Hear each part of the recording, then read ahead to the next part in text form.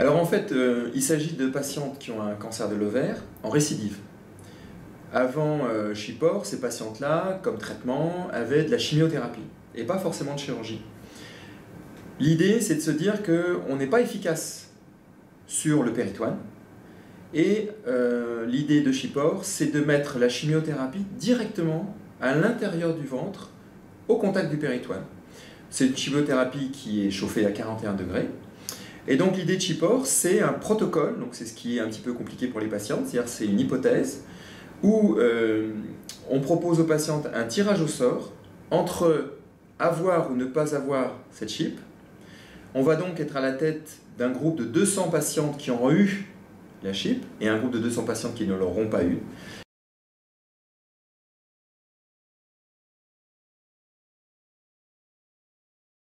Le jour de la présentation, je me suis retrouvé en fait euh, à l'intérieur d'un amphi avec l'ensemble des spécialistes de la chip au niveau international.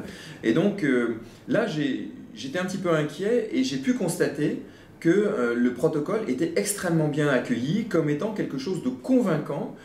Pourquoi? Parce qu'il était construit de façon à avoir une réponse. C'est-à-dire que même si aujourd'hui le protocole est en cours, euh, l'impression que dégage Shipor, c'est qu'il est construit de telle manière qu'au terme de ce protocole, on aura une réponse.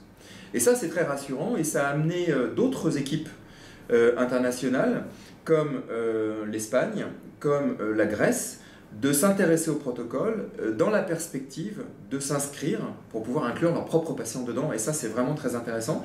Et euh, le, le, le, congrès à Washington, c'était donc en novembre. Et aujourd'hui, eh bien, les discussions sont en cours et on est en train d'aider avec Unicancer, puisque le promoteur c'est Unicancer, on est en train d'aider euh, ces équipes euh, à euh, rentrer dans le protocole. Alors c'est des démarches qui sont un peu compliquées, européennes, mais euh, c'est quand même un enjeu très intéressant parce qu'on a besoin encore de 200 patientes.